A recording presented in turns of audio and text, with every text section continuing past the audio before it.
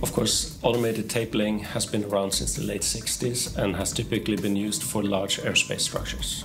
Conventional automated tape laying would be very inefficient if you want to create small parts. So what we have done is we combined the automated tape laying process with ultrasonic cutting and robotic pick and place. Typically, programming a robot is quite time consuming and we have automated this process so we go from CAD files to robot code in a matter of minutes. It requires very little knowledge about the design process or the programming and it's typically done by the operator. The system, especially the automated tape laying, has a built-in quality inspection system. We have a sensors that measure the gap between the tapes. This information is stored and also presented to the operator.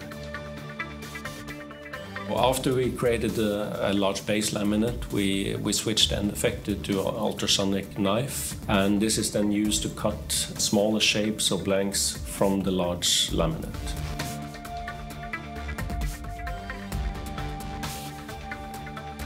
This system allows us to build complex net-shaped product on the second table.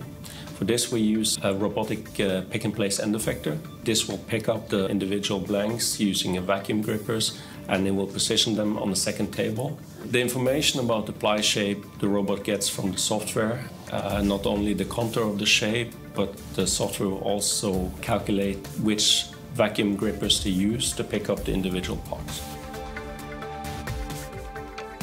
If we were to build these complex parts manually, it would require several people, often in combination with the laser projection system to guarantee the accuracy. And now we can do this all within one robot cell using the same robot for laminating, cutting, and placing the parts.